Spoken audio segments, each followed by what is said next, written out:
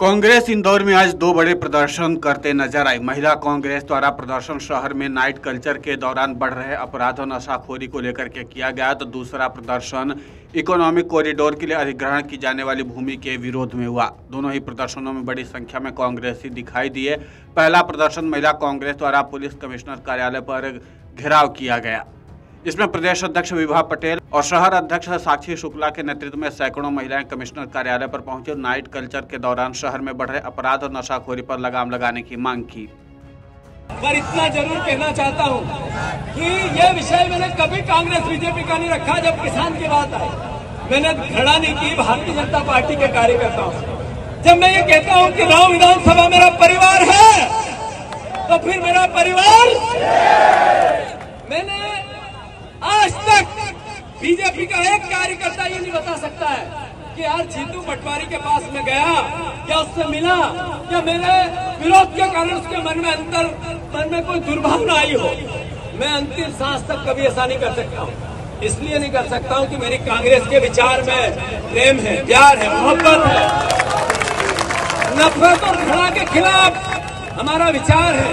साथियों, आप लोगों को मैं बताना चाहता हूँ कि कांग्रेस की जब सरकार बनेगी तो हमने घोषणा पत्र में यह अंकित कर दिया है, वचन पत्र में, कि इंदौर विकास प्राधिकरण जैसी भूमाफिया संस्थाएँ इंदौर विकास प्राधिकरण जैसी भूमाफी, भूमाफिया संस्थाएँ इनको कांग्रेस की सरकार आएगी तो समाप्त करेगी रहने नहीं देगी, रहेगी नहीं। हमने निर्णय स्कीम लग गई और कोर्ट में लंबित है। कांग्रेस की सरकार बनेगी तो किसानों के हितों का ध्यान रखते हुए एक साथ मिलकर, साथ में बैठकर उन स्कीम्स को सबको कांग्रेस पार्टी समाप्त करेगी। वो चाहे कोई स्कीम पूरे इंदौर में, मध्य प्रदेश में क्यों नहीं हो। हमने निर्णय लिया है, जो घोषणा पत्र में भी आएगा कि सोसाइटियों का, जो रहवासी सोसाइटियों का जो रोज रहवासी सोसाइटियों का जितना भी जितना भी जो प्लाट धारक है संस्था के सदस्य हैं उनका आइडिया से जो विवाद चल रहा है ऐसी परिस्थिति में ऐसी परिस्थिति में मेरी ऐसी परिस्थिति में हम इस भावना का, का ध्यान रखते हुए उन सदस्यों के हितों में सोसाइटियों के हितों में विकास प्राधिकरण को जो जो हर धर्मिता सदस्यों को लाभ के लिए काम करेंगे। हमने निर्णय लिया है कि तीन हज़ार रुपया कुंटल किसानों का गेहूँ होना चाहिए कि नहीं होना चाहिए।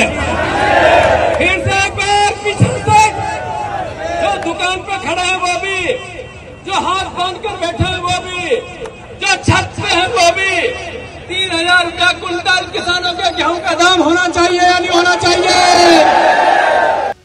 पहले कमिश्नर से निचले स्तर के अधिकारी ज्ञापन लेना चाह रहे थे, लेकिन महिलाएँ अड़ गई और पुलिस कमिश्नर मकरंद देउस्कर को ही ज्ञापन देने की जिद करने लगी।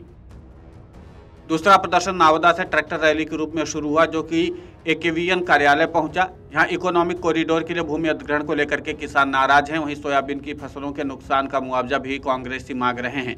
युवक कांग्रेस द्वारा आयोजित इस प्रदर्शन में राष्ट्रीय अध्यक्ष श्रीनिवास बीवी, प्रदेश अध्यक्ष कांतिलाल भूरिया और विधायक जीतू पटवारी भी शामिल हुए। वहीं कमिश्नर कार्यालय पर किए जा रहे प्रदर्शन में महिलाओं ने रास्ता जाम करने का प्रयास किया। कांग्रेस नेत्रियाँ सड़क पर बैठ गई और शिवराज सरकार के खिलाफ जमकर नारेबाजी की। महिला कांग्रेस कार्यकर्ताओं को हटाने के लिए पुलिस ने हल्का बल भी प्रयोग किया। वहीं बड़ी संख्या महिला भारतीय जनता पार्टी सरकार विरोधी नारे भी लगा रही थी। इस प्रदर्शन में इंदौर शहर कांग्रेस अध्यक्ष सुरजीत चड्ढा और वरिष्ठ कांग्रेस नेता भी शामिल हुए। Video desk Amar Ujala dot com. Amar Ujala, अब आपके टीवी पर भी। अपने स्मार्ट टीवी पर यूट्यूब पर सर्च करें अमर उजाला। चैनल सब्सक्राइब करें और देखें ताज़ा खबरें।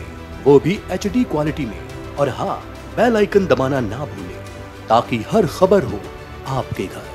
अमर उजाला, निष्पक्ष निर्भी निरंतर।